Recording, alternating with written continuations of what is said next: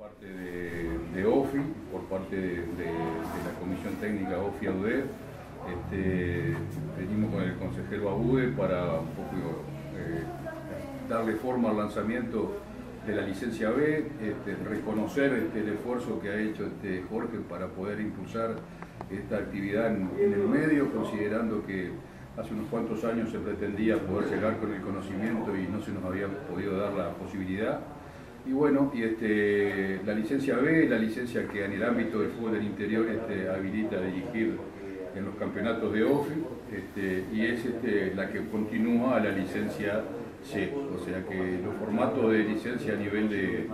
fútbol uruguayo es este, licencia C, licencia B,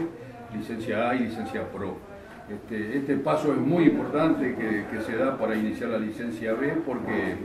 ya le digo, habilita a la exigencia que mantiene OFI en los torneos nacionales de selecciones y de clubes, tanto masculino como femenino, y, este, y también a partir de los nuevos proyectos que está generando OFI de desarrollo a nivel de los centros de formación, que también se está exigiendo a partir de la licencia B. Así que queremos sobre todo resaltar este, la posibilidad y la satisfacción que tenemos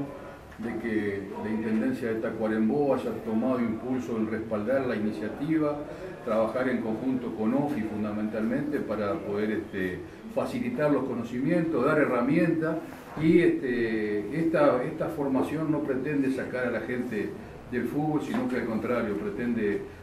acercarla más, instruirla más y darle mayores posibilidades de crecimiento. ¿Quiénes pueden inscribirse para, para hacer el curso? Pueden inscribirse los que hayan hecho la licencia C.